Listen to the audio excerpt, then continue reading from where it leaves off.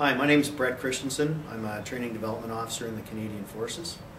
Uh, currently, I'm stationed in Kingston, Ontario, Canada. I work at the Canadian Defence Academy at the moment, and uh, will be transitioning to the Air Force this summer, and I'll be working at the One Wing headquarters, which manages tactical helicopters across the Canadian Forces. My first exposure to HPT was during my training development officer course in 2004. Uh, one of my instructors was taking the uh, Master of Science in Instructional and Performance Technology at Boise State University. Um, so that was uh, what got me interested in it, and uh, fortunately, the uh, Montreal chapter of ISPI put on a two-day conference uh, in 2005, and I was fortunate enough to get to go to that conference and uh, met some uh, real leaders in the field, uh, particularly Mickey Lane, who's going to be the president this year. And uh, so that was my first exposure, and I was immediately impressed by the uh, sense of family that that was at that conference, and that was what drew me to the uh, international conference uh, later that year. Uh, there's a, a, number of influences uh, that I've experienced in my five years in the field so far. Uh, um, I've met so many of the leaders in the field. Guy Wallace is uh, definitely one of them, chasing me around every conference, trying to get me to go onto a committee or something. Um, and of course to do this podcast, which I'm happy to do.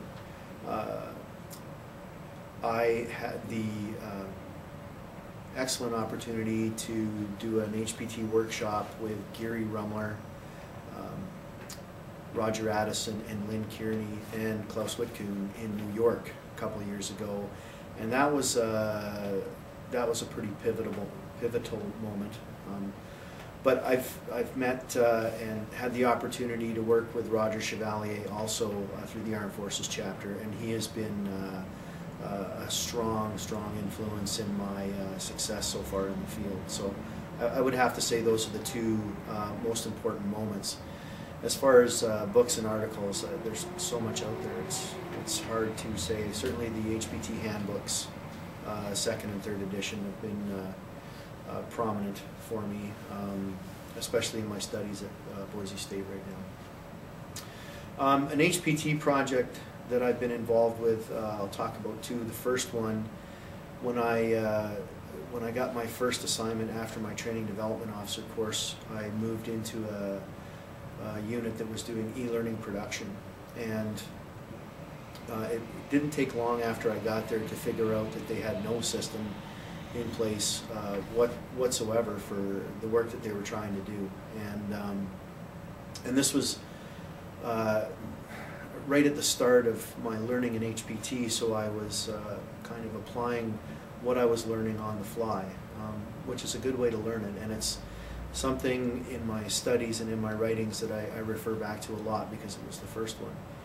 and. Um, uh, after we analyzed the, the problem as we were living it, we saw a number of opportunities for improvements, including uh, integrating uh, project management and uh, better integrating ISD into the work that they were doing to uh, to make things better. Um, we uh, we also developed a number of job aids and uh, and we worked the instructional systems design back to Ruth Clark's work um, in e-learning uh, and used her principles to as the real foundation of uh, what we were doing there. So it had uh, extremely good results, and the products that we were uh, producing won national awards at the Canadian Society of Training Development two years in a row. So I, think that speaks volumes to uh, how how HPT can help you do other things in the workplace.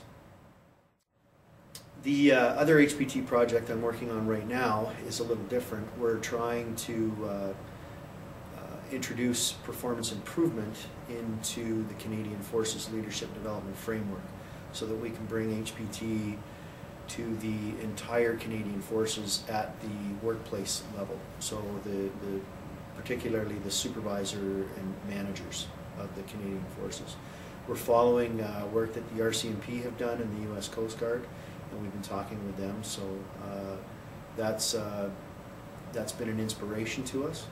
And where we're at right now is we have permission from our director to move into an analysis phase and look at the competencies that already exist um, for uh, leaders in the Canadian Forces and align that with the HPT model and the, the 12 principles from the International Society of Performance Improvement and define the gap. And once we have that gap identified, then we can uh, come up with a proposal on how to move forward. So uh, I'm really excited about that. We've been working hard on that for two years. Um, my 30 second elevator speech on HPT is not as well developed as some. And uh, uh, basically, when people ask me what I do uh, with respect to HPT, my answer is I try and take you from where you are to where you want to be uh, using the science of performance improvement. My current focus for learning more about HPT is uh, completing my Master's of Science uh, degree at Boise State University. I've got uh, one elective course and my project portfolio left.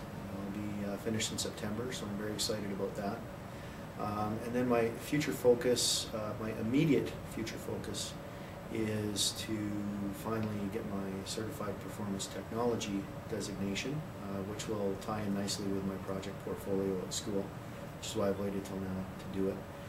And uh, then after that, I think my direction will be primarily towards evaluation. That seems to be the area that uh, uh, I like the most and that I'm the strongest at. So I'll continue to, to build on that.